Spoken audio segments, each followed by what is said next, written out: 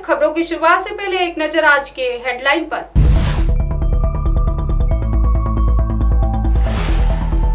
रायगढ़ में भारी वर्षा के बाद नदी उफान पर कई लोग बह गए। नीमगढ़ हत्याकांड पर अपनी स्टेटस रिपोर्ट सौंपे सीबीआई कोर्ट ने कहा। अब सीएनजी से चलेगी एसटी बसें। डीजल की बढ़ती कीमतों से बढ़ रहा है घाटा। देखते हैं अब खबरें विस्तार से। महाराष्ट्र के रायगढ़ में कई इलाकों में भारी बारिश ने लोगों का जीना मुश्किल कर दिया है। कई जिलों व गाँवों से संपर्क टूट चुका है। 40 सालों में पहली बार ऐसी बारिश देखने को मिली है।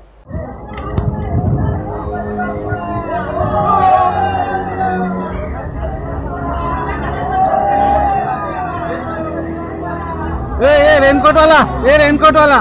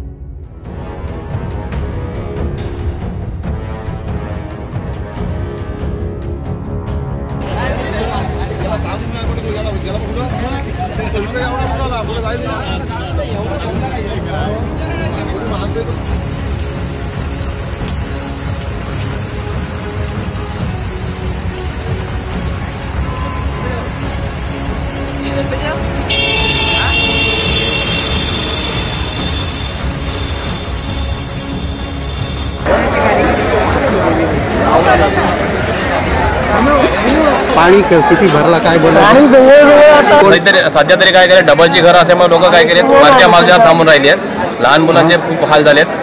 त्याच्यामुळं सगळं हे झालं आणि टीम बोलवली आहे आता. बिस्कू टीम बोलवली आहे. कोसगावची पण टीम आलेली आहे. पण नेमकं काय? उचुर्लीचं पण अं, रस्ता ब्लॉक झाला आहे तिकडे मजगावचा व्ह्यूचा तिकडे पण ब्लॉक झाला आहे आणि इकडून याचं सोडत आपलं काशीद. काशीदवरनं काशीद तर रात्री काल पूर्ण ते पूर्ण हे वाहून गेले आहे सगळं ते. वीस बाजके बिझनेस बाजके हे मशीन सगळ्या सात ते आठ मशीन सगळ्या पाण्यात. मोटार आहेत आणि चार सात चक्के आहेत. सगळ्या पाण्यात भिजून गेले.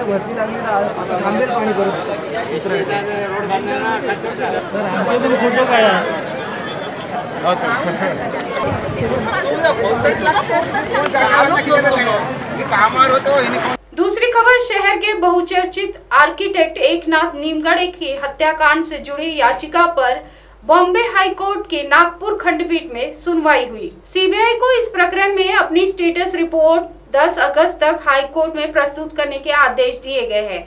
हाई कोर्ट ने सीबीआई को अपना शपथ पत्र एक सीलबंद लिफाफे में दायर करने के लिए दिए हैं। उल्लेखनीय है कि 6 सितंबर 2016 की शहर के लाल इमली चौक पर आर्किटेक्ट नीमगढ़ी की गोली मारकर हत्या कर दी गई थी। इस मामले में पुलिस की जाँच से असंतुष्ट परिवार ने हाई कोर्ट में याचिका दायर की थी। तब हाई कोर्ट ने मामले की जाँच सीबीआई को सौंपी थी। हालाँकि सीबीआई ने भी जाँच बंद करके 22 दिसंबर 2020 को प्रथम श्रेणी न्याय दंडाधिकारी की अदालत में रिपोर्ट दायर की थी। तीसरी खबर, डीजल की बढ़ती कीमतों से परेशान महाराष्ट्र राज्य सड़क परिवहन निगम एमएसआरटीसी ने अपनी एक हज़ार बसों को सीएनजी में बदलने का फैसला किया है।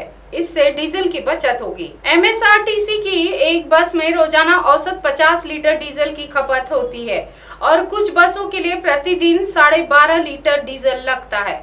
बसों को सीएनजी में बदलने का पर्यावरण को भी फ़ायदा होगा और कार्बन डाइऑक्साइड के उत्सर्जन में रोज़ाना एक लाख पच्चीस हज़ार किलो की कमी आएगी।